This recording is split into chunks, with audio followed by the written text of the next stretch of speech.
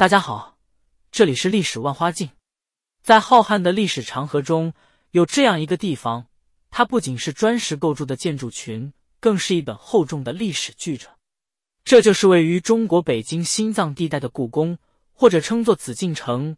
它见证了明清两代的帝王生活，承载了无数的历史记忆与文化精粹。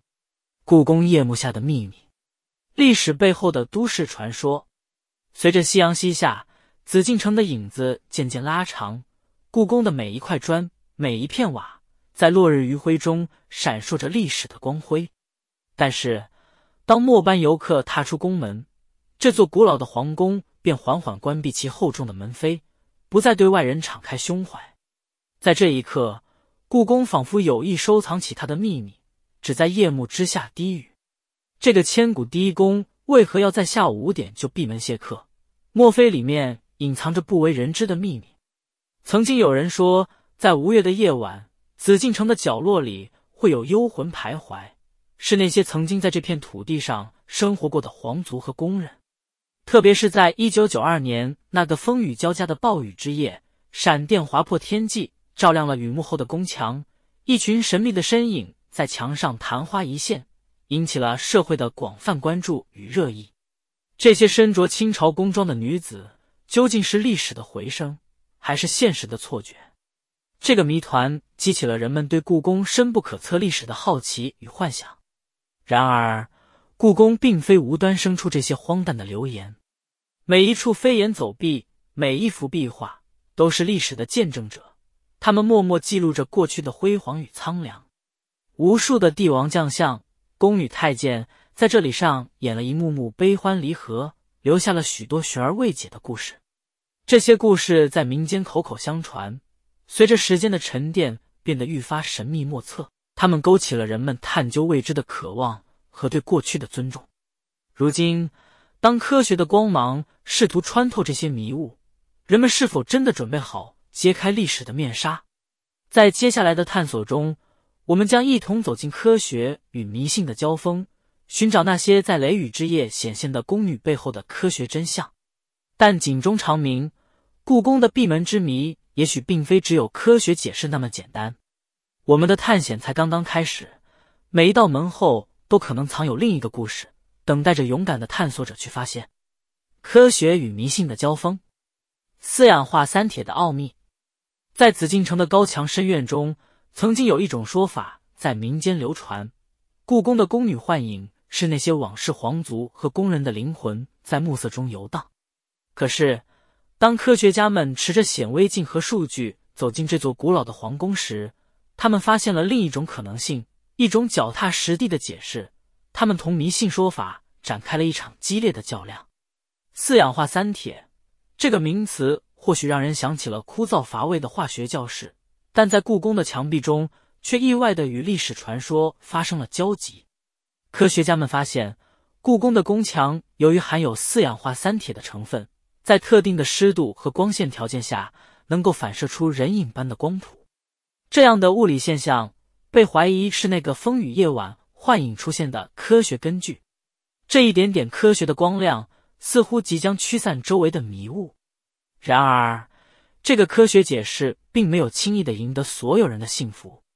有人质疑，若是物理现象那么简单，为何这些幻影只出现在夜深人静之时？为何伴随着风雨和雷电？这是否又是科学无法完全解释的自然之谜？在科学与迷信的交锋中，故宫的夜晚又添了几分神秘色彩。这场科学与迷信的较量并未有一个终结的答案，但它却为故宫增加了一层探索的纱幔。人们在好奇与探索中前来，希望亲眼见证那些传说中的幽魂，或是寻找那些科学无法完全解释的现象。而在这背后，故宫的每一块砖、每一片瓦依然默默的守护着它的历史与秘密。故宫闭馆之谜，似乎在科学的解释与传统迷信之间找到了一条细微的平衡线。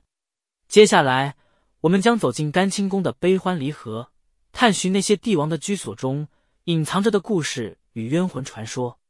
科学的光芒是否能照亮历史长廊的每一个角落，还是又会在某个古老的故事面前停下脚步？让我们继续揭开这层神秘的面纱，探索那些被时间遗忘的秘密。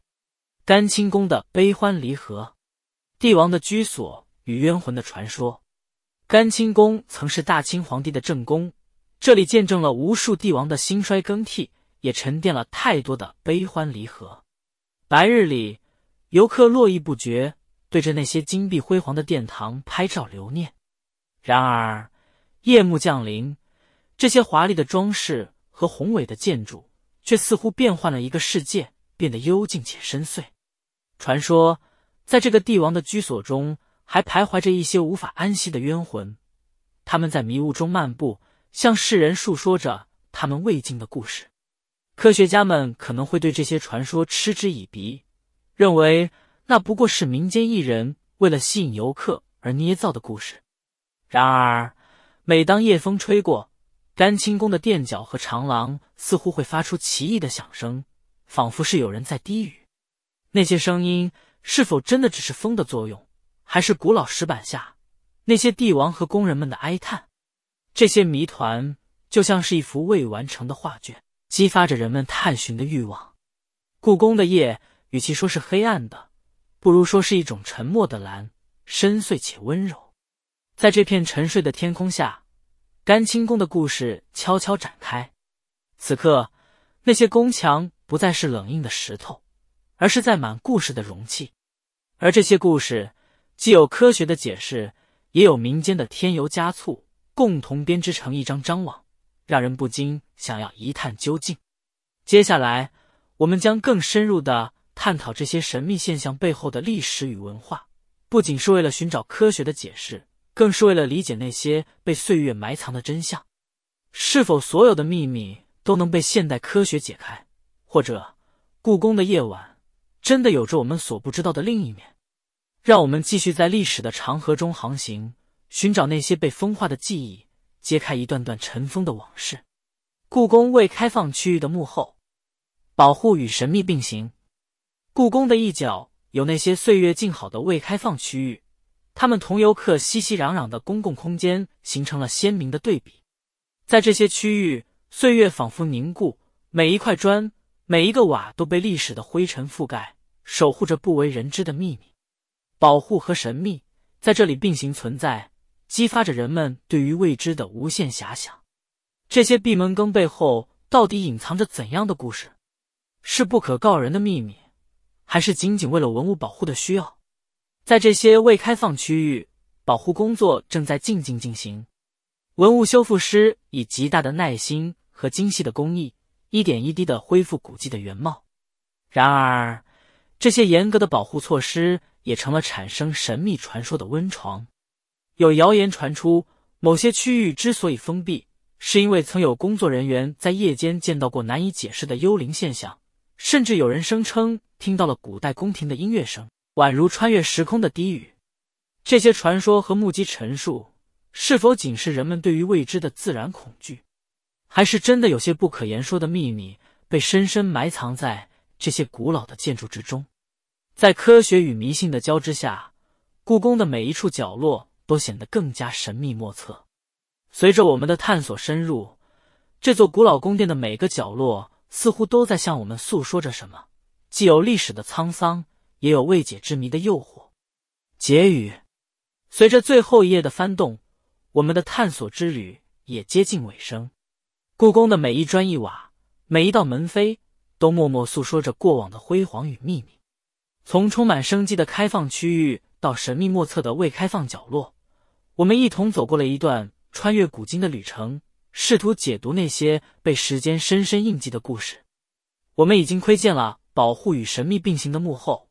感受到了每个未开放区域所特有的历史质感，在故宫的深处，每个角落都有其独特的语言和存在的价值。他们等待着历史的爱好者去挖掘，等待着未来的探险者们去发现。本文虽然结束，但故宫的故事永远不会落幕。未来仍有无数的秘密等待被发现，无数的传奇等待被讲述。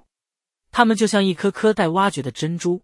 散落在这座千年皇宫的每一个角落，而我们只是这无尽宝藏中的一小部分。我们的探索和发现，为这座历史的宝库又添了一份理解和敬仰。在告别这个故事的殿堂之时，让我们带着对未知的好奇心和对历史的尊重，期待着下一次的相遇，期盼着再一次揭开历史的神秘面纱。故宫这个古老的皇家园林将继续在时间的长河中流传，与世人共享它的无穷魅力。好了，本集节目就和大家分享到这了，感谢您的观看，我们下次再会。